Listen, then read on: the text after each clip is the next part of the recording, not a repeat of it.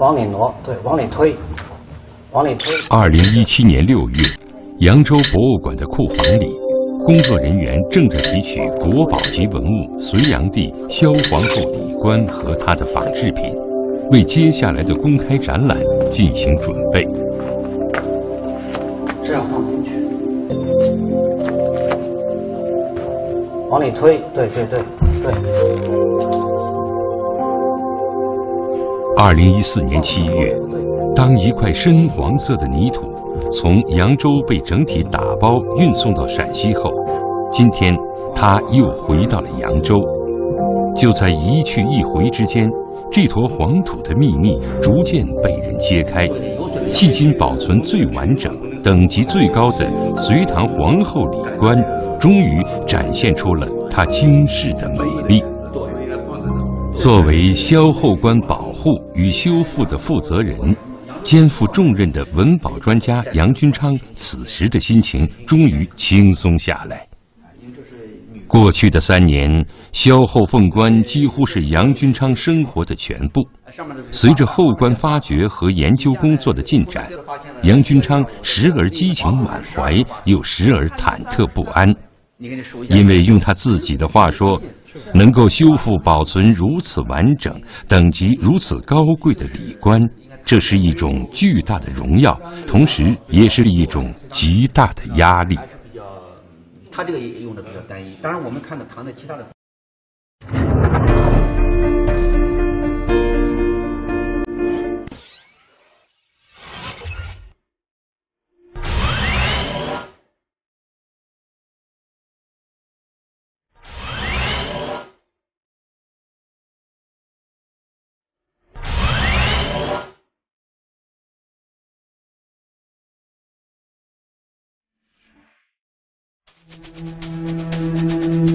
机缘巧合，双目现世，扬州曹庄隋炀帝萧后合葬墓里埋葬着怎样的秘密？酸性土壤，千年侵蚀，萧后凤冠是就地清理还是另觅他法？斑斑驳驳的锈迹，若隐若现的繁花。如何从一坨土中清理出足够的考古信息？这一目前出土年代最早、等级最高的皇后凤冠，却因为保存状况极其脆弱而令人担心。它如何经受得住从扬州到西安这一千多公里的颠簸旅途？现代实验室考古又将如何进行？花树摇曳，电钗生辉。皇后凤冠能否重见天日？考古进行时为您讲述隋炀帝萧后凤冠复生的故事。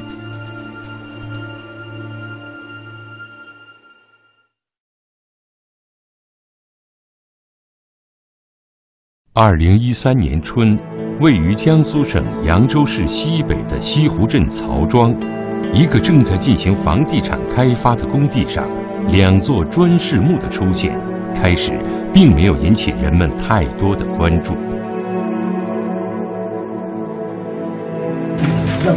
哎，这是哪的？一、一、二、三。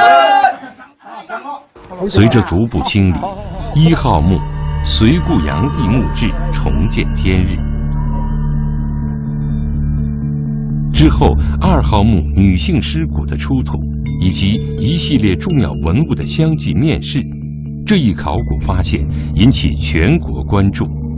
经过反复论证，二零一三年十一月，国家文物局的考古专家们一致确认，扬州曹庄隋唐墓正是隋朝末代皇帝隋炀帝杨广及其皇后萧氏的合葬墓。墓内出土的两只牙、两颗牙齿鉴定为五十岁左右的男性个体。根据出土的隋故炀帝墓志、十三环叠谢金玉带、鎏金大型鎏金铜璞手以及大量的文官俑、武士俑、骑马俑等高规则随葬品，结合文献的记载，确认一号墓的墓主就是隋炀帝杨广。墓内保存有部分人骨遗骸，经南京大学体质内学专家鉴定，死者为大于五十六岁。身高约一米五的老年女性。这座墓葬虽然没有文字信息，但是根据墓葬形制、墓内出土高等级随葬品和对人骨遗骸的鉴定，结合文献记载，判断墓主人是隋炀帝的夫人萧后。我们在萧后墓里面呢，清理出一具冠。那么这件冠呢，在我们这个隋炀帝萧后墓当中呢，也占据了一个很重要的一个地位。按照我们过去隋唐的礼制，它是皇后用的。一个是她身份比较高，是皇后用的；第二个很简单，这个冠是女性用的。所以说，这个冠对于证明萧后的身份，是占据了一个很举足轻重的地位。所以说，它这件东西呢，可以说影射出看到我们萧后和炀帝的身影。隋炀帝是隋朝末代皇帝。于公元六一八年被部下杀死于扬州。隋炀帝在历史上颇富争议，有人认为他浩劫民力、断送大隋江山是无道昏君；也有人认为他勤政有为，任内完成了平定青海、修建洛阳城、建成大运河等一系列对后世影响深远的功绩。而他的皇后萧氏也是中国历史上少有的身世最为传奇的皇后。隋炀帝被杀后，萧后被宇文化及为首的叛军裹挟前往北方，后来又被窦建德掠走，之后流落东突厥。杨广的一个妹妹义成公主，她呢被啊被和等于和亲。嫁到了东突厥，啊，嫁给了单于，所以在这个情况之下，义成公主知道嫂子，呃，这么一个状况，是吧？而且这个萧后当时带着年幼的这个隋炀帝的孙子，也带着他们的孙子，啊，杨正道，是吧？这个所以义成公主就派人来跟窦建德交涉，因为这个东突厥他的这个战斗力还是很强的。啊，所以窦建德，这个他主要的是要跟这个北方的其他的这个军阀、其他的这个势力要要要争天下，啊，所以他不能腹背受敌，所以他在这个情况之下，既然你要这个萧后，他就把萧后送过去了。萧，所以萧后在在东突厥，实际上是在山西境内，又生活了有有十多年。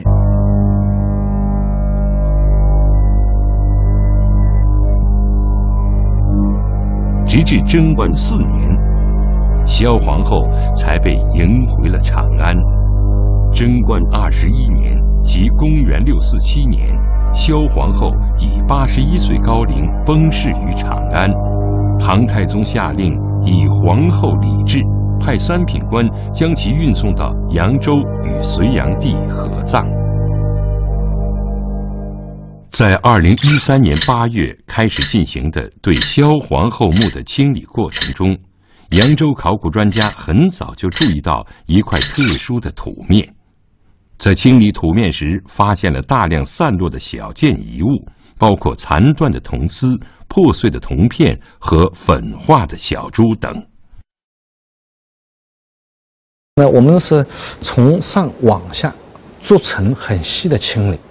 他一开始露出来一一个小点或者一个小石子的时候，小装饰品的时候，也没办法判断这个是什么东西。当时我们对这件东西没有太多的认知，也不知道它到底是什么东西。随着考古发掘的一层层的深入，它的更多的结构被暴露出来。呃，首先出来的是更多的一些那个鎏金的一些花片，然后还有一个慢慢的进出它的那个前面的额托，还有它的薄冰。当薄冰出来的时候，我们意识到这这件东西可能是一件帽子之类的东西。呃，应该是一个女性的一个饰饰品，嗯。随着清理逐渐深入，人们越发确定她很可能是萧皇后的陪葬凤冠。考古人员于是决定，将这片区域保留下来，留作精细考古，而其他区域的考古工作始终在持续进行着。这块外行人看来的一个土块，一直耸立于墓室铺砖地面上，吸引着众多学者的关注。它那个因为是它的铜铜的，就是说你稍微一碰，它那个就变成粉末状。所以这件东西呢，就是说，呃嗯、可能具有很大的研究价值。但是如果在现场再清理的话，就可能就是说对它会产生一定的破坏。这个罐呢，当时呢，现场我们判断呢，就是保存也不是太理想的。那么我们请了国家局的领导，请了国家文物局的这个专家到现场来，给我们呢做做做指导。扬州考古队认为，以目前的能力，无法在现场完成对萧后棺的清理和保护工作。二零一三年十二月，国家文物局在扬州为萧皇后棺等重要文物的保护组织了一次专家会。陕西省文物保护研究院总工程师杨军昌也来到了扬州，他此前带领的团队。曾与德国专家合作，成功保护修复过唐代公主李垂的花冠。